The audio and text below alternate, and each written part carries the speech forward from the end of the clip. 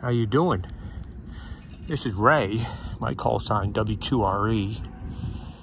We just installed these new antennas.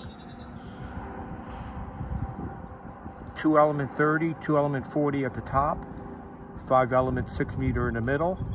And right here is a GXP 11-5.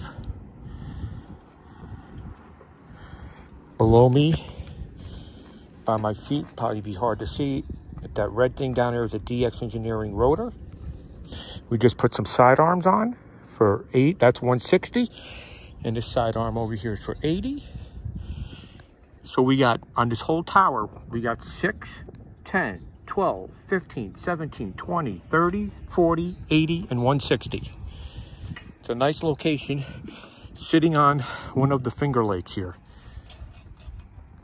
Thanks, Ray, W2RE.